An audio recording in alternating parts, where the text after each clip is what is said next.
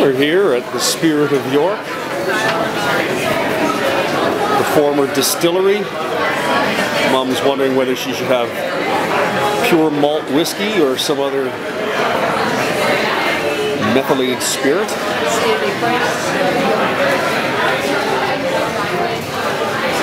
Yeah.